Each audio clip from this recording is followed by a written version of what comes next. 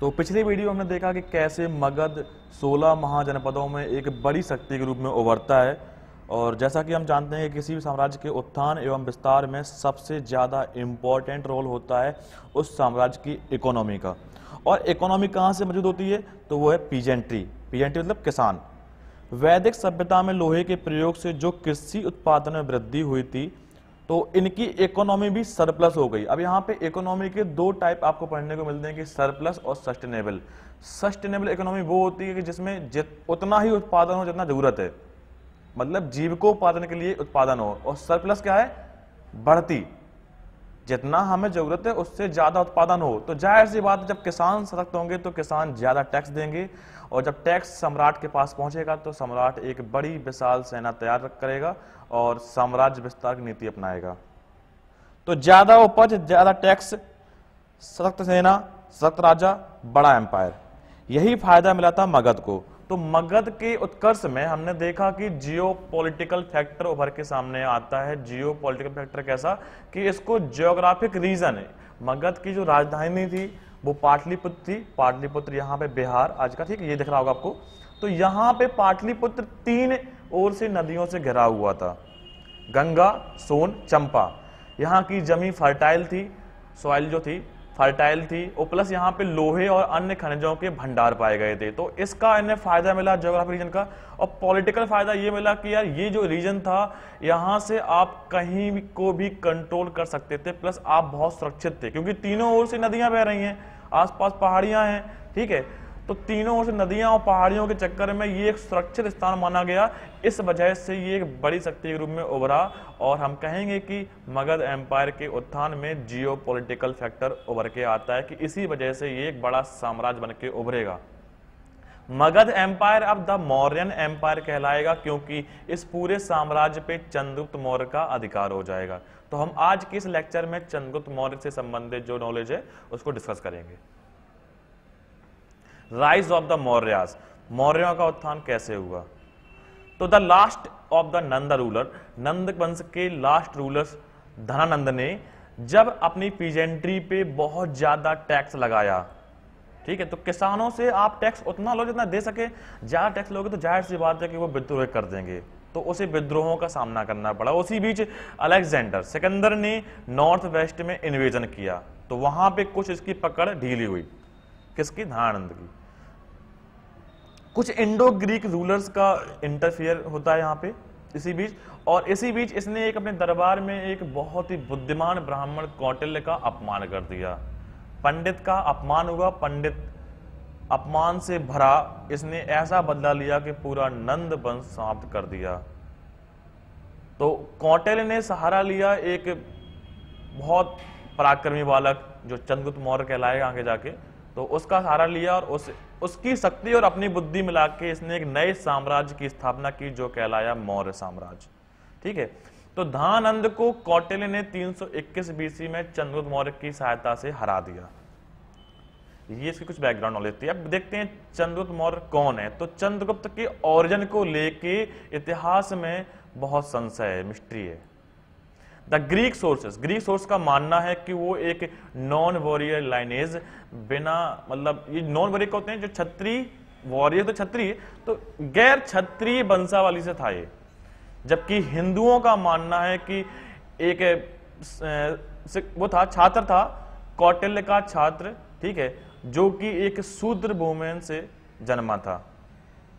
जिसमें जबकि जो बुद्धिस्ट लोग हैं, जो बौद्ध धर्म के ग्रंथ हैं, उनमें इसको एक छत्री बताया गया है। It is generally accepted that he was an orphan और यह अक्सर मतलब साधारणतः यही माना जाता है कि वह एक बालक था, जो कि बचपन में ही उसके माता पिता एक्सपायर हो गए थे और उसको पाला पोसा कौटिल ने और कौटिल ने उसको शिक्षा दीक्षा की, शिक्षा दीक्षा दी, ठीक है? इसी के साथ साथ उसमें देखने को मिलता है कि ग्रीक अकाउंट्स मतलब जो ग्रीक टेक्स्ट हैं ग्रीक ग्रंथ हैं, उनमें इसको सेंड्रोकोट्स की उपाय दी गई है। तो सेंड्रोकोट्स का मतलब होता है जो सिकंदर से मिलने वाला, ठीक है? तो यहाँ पे हालाँकि ऐसा सुनने को मिलता है कि सिकंदर से इसकी मुलाकात हुई थी। इसी के समय में सिकंदर ने भारत में इन्वेजन किया था और इसी के समय में देखो, ये लिखा भी है अलेक्जेंडर हैड अवेंटेड हिज इंडिया कनकेस्ट अलेक्जेंडर ने इंडिया को जीतने का जो अभियान तीन सौ चौबीस शुरू किया था, वहाँ पे झेल नदी के पास राजापुर से इसकी लड़ाई हुई थी। तो तीन सौ चौबीस में इसने अपना इंडिया को जीतने का अभियान वहीं पे स्टॉप कर दिया था। और इसी बीच चंद्रगुप्त ने उसके कई सारे छोटे छोटे जो उसके कमांडर होते हैं, उनको हराया भी था। ये भी देखने को मिलता है। अब कौटिल्य कौटिल्य ने क्या किया? कौटिल्य की स्ट्रेटजी देखो, ये जो इतना बड़ा साम्राज्य है, चंद्रगुप्त का साम्राज्य, इसके बनने के पीछे चंद्रगुप्त मौर्य की शक्ति, उसकी साहस और बुद्धि किसकी? कौटिल्य की। तो कौटिल्य की स्ट्रेटजी और चंद्रगुप्त का एग्जीक्यूशन कि उसने कैसे इस चीज़ों को आगे इंपोज किया, कैसे वो चीज़ों को लाया अपनी लाइफ में, ठीक है? तो they had raised the mercenary army for their own उन्होंने एक अपनी विशाल सेना खड़ी कर ली। वो लोग ईस्ट वार्ड देखो, यहाँ पे ये लोग एक्टिव हुए थे, यहाँ पे तक्षशिला का ये शिक्षक था टीचर था, कौन? कौटिल। तो इस एरिया में चंद्रगुप्त को यहाँ पे इसने शिक्षा शिक्षा दी, तैयार किया एक बड़े युद्ध के लिए और आगे मूव करते हैं ही पाटलिपुत्र की ओर। ठीक है? तो इसको पहले कब्जा, कब्जे में लेंगे राजधानी को, इसके बाद आसपास की राजधानी, आसपास के क्षेत्र हैं, उसको कब्जे में लेंगे। तो इस प्रकार से ही जो आपको ब्लू कलर का रीजन दिख रहा है, ये चंद्रगुप्त मौर्य का पूरा साम्राज्य है। ये जो उड़ीसा है, कलिंग वगैरह, ये छोड़ के और ये थोड़ा साउथ का छोड़ के, बाकी mostly all over the India और पाकिस्तान, अफ़गानिस्तान सब कवर कर लिया था चंद्रगुप्त ने।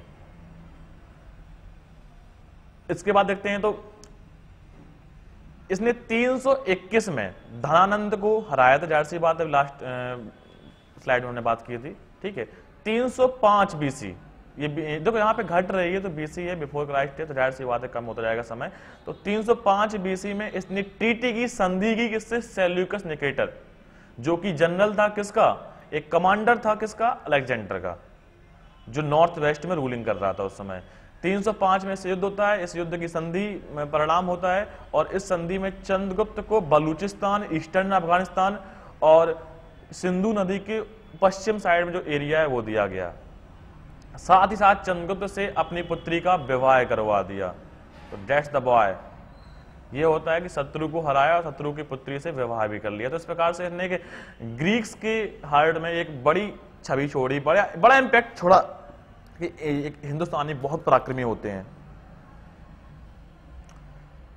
इसके बजाय सांतावना के रूप में सेल्यूकस निकोटर को 500 हाथी मिले थे।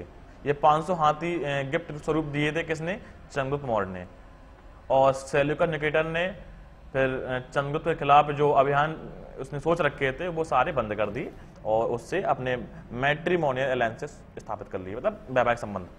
चंद्रगुप्त मौर्य के दरबार में एक ग्रीक एम्बेसडर आता है, जिसका नाम मेगास्नीज। है तो मेगास्नीज की किताब का नाम इंडिका है, आपने ऑलरेडी पढ़ा होगा इसके बारे में तो थोड़ा सा यहाँ पे व्यू देखेंगे। तो चंद्रगुप्त की जो पॉलिसी थी policy of expansion brought under one control almost the whole of the present India barring a few places like Kalinga and extreme south तो कलिम देखो, यहाँ पे जो उड़ीसा था कलिंग और जो साउथ का पॉइंट ये छोड़ के पूरा इंडिया कवर कर लिया इसने इंडिया पाकिस्तान अफ़गानिस्तान ठीक है? इसने अपनी पॉलिसी के अंडर में.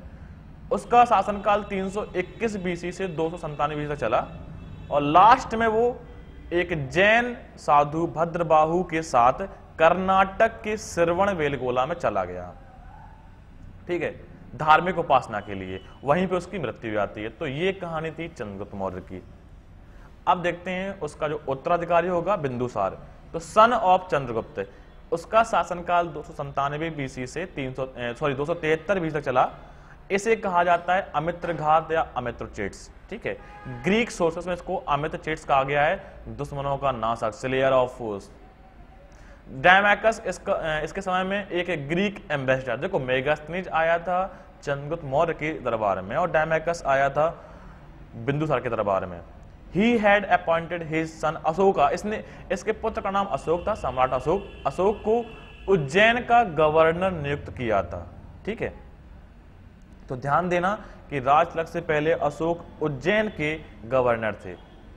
बिंदुसार ने मैसूर वगैरह जीत लिया था, इसने थोड़ा साउथ में कुछ अभियान किए थे। अब देखते हैं चाणक्य के बारे में, the man behind the Chandragupta Maurya. तो टीचर ऑफ़ चंद्रगुप्त मौर्य कौन है? Chanakya who was also his chief minister उनके प्रधानमंत्री रूप में कार्य भी किया, और यहाँ तक कि ये प्रधानमंत्री अशोक के समय भी रहे। तो ब्राह्मण बर्थ जन्म से ब्राह्मण he was teacher scholar at Taxila Taxila में वह एक अध्यापक था। उसके अन्य नाम विष्णुगुप्त और चाणक्य हैं।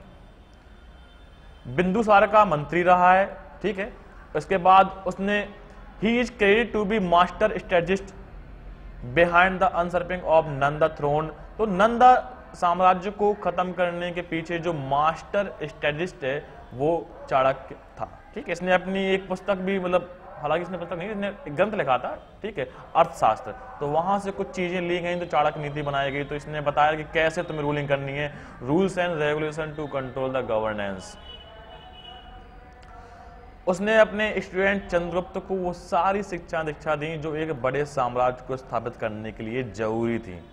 उसने अर्थशास्त्र लिखा which is a treatise sorry treatise on state craft economics military strategy तो राज्य और प्रशासन को लेके जितने भी इंपॉर्टेंट पहलू हैं, उन सबको इसने इसमें अर्थशास्त्र में इंक्लूड किया। Arthashastra was rediscovered by R Rama Shastri तो यहाँ पे ध्यान देना कि आर रामा शास्त्री ने 1905 में अर्थशास्त्र को खोजा था। ये विलुप्त हो गया था बारहवीं शताब्दी में। जब फॉरेन इन्वेजन होते हैं बहुत ज़्यादा, अरबों के आक्रमण जिसमें हो चुके थे और मोस्टली यहाँ पे अरब लोग यहाँ पे इन्वेजन कर चुके थे ठीक है? तो इस समय कहीं पे अर्थशास्त्र खो गया था। शायद वो नहीं चाह रहे थे कि हिंदू साहित्य कुछ बचे। तो डिस्ट्रॉय करने का किसी ने प्रयास किया होगा तो हो सकता खो, खो गया हो। तो 1905 में आर रामा शास्त्री ने इसकी दोबारा खोज की। अर्थशास्त्र में है क्या? The work contains 15 books 180 chapters the main theme is into is divided into देखो किसमें? किंग देखो, राजा के बारे में बताता है, राजा के मंत्री के बारे में बताता है, डिपार्टमेंट और सरकार जो गवर्नमेंट कैसे लानी उसके बारे में बताता है। सिविल क्रिमिनल लॉ के बारे में बताता है, डिप्लोमेसी ऑफ़ वार, युद्ध की नीति के बारे में बताता है कि कैसे युद्ध लड़ना है। युद्ध का केवल एक मोटिव होना चाहिए कि आपको शत्रु को प्रभावित करना है, शत्रु पे अधिकार करना है।